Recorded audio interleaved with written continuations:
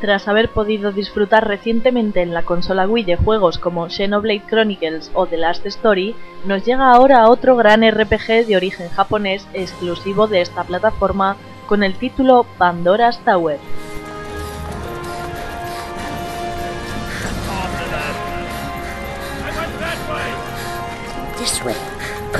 Comenzando por el argumento, la trama de esta épica aventura nos relata la historia de dos jóvenes, Aeron y Elena, siendo esta última presa de una cruel maldición que va transformando poco a poco su cuerpo en una criatura monstruosa. Still hideous, no matter how many times you see it, isn't it? And once we get there, then I.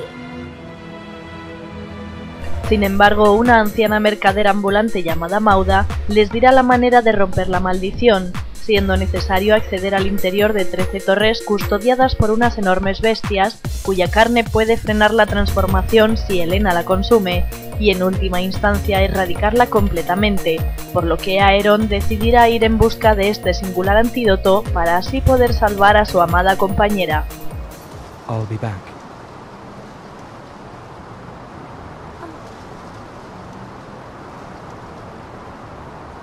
You'd best head off without delay.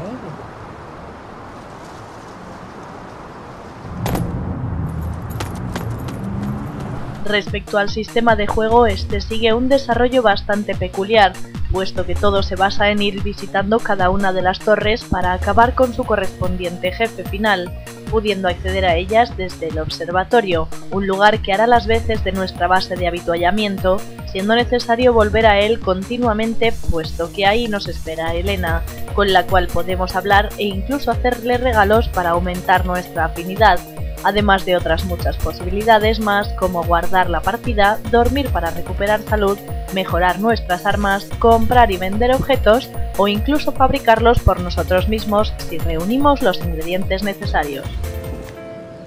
It's such a warm light, don't you think? Huh?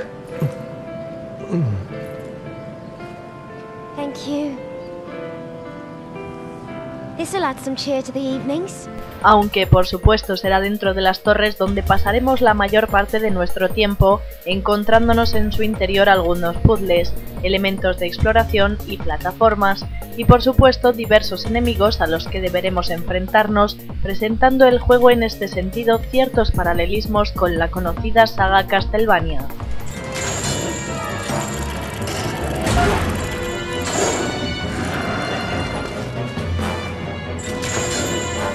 Para ello, nuestro héroe y único personaje jugable de la aventura dispondrá de una espada y lo que es más importante aún, la cadena Oraclos, la cual juega un papel fundamental en la mecánica del juego. En concreto, esta cadena nos permite interactuar con diversos elementos del escenario, siendo en muchas ocasiones imprescindible para poder avanzar o resolver algunos de los puzzles. Además, también nos será especialmente útil durante los combates, ya que gracias a ella podremos apresar a los enemigos para retenerlos, golpearlos o lanzarlos por el aire, tratándose igualmente de nuestra mejor arma cuando nos enfrentemos a las criaturas más difíciles.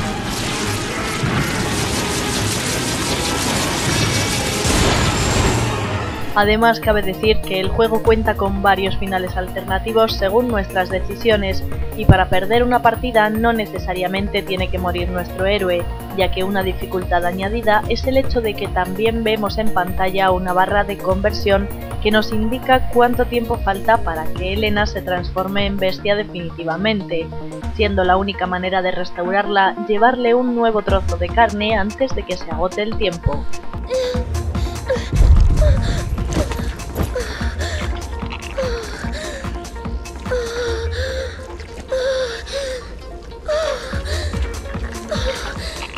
Asimismo, cada una de las torres esconde diversos secretos y habitaciones ocultas que solo podremos abrir con la llave correspondiente, por lo que incluso una vez hayamos acabado con el jefe final que la custodia, podremos volver a ellas para seguir investigando todo lo que hayamos podido dejar atrás, siendo un título bastante rejugable que supera ampliamente las más de 20 horas de juego.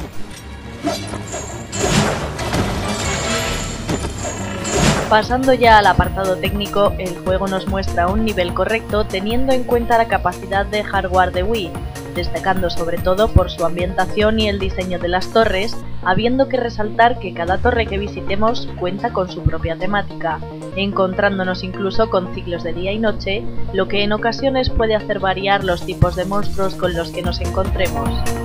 Sin embargo, el lado negativo hemos de decir que el sistema de cámaras, las cuales son fijas, puede jugarnos alguna mala pasada en ciertas ocasiones, y la baja resolución de las texturas pasa factura al nivel de detalle tanto de los escenarios como de los propios personajes.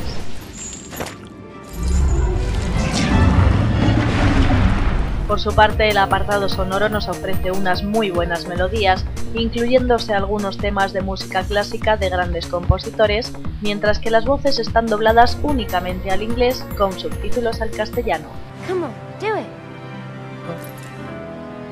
Place your finger next to mine and promise.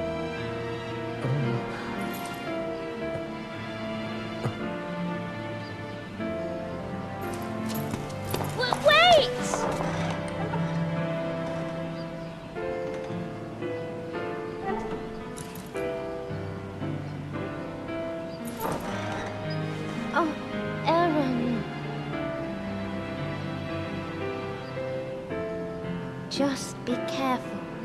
please. En conclusión, Pandora's Tower es un juego con una personalidad única que se desmarca de la gran mayoría de títulos de Wii, tratándose de un productor muy orientado al público más hardcore, tanto por su peculiar historia de corte adulto como por su ajustada dificultad, si bien hay que tener en cuenta que no se trata de un juego de rol en estado puro, sino más bien un título de acción con un fuerte componente de RPG.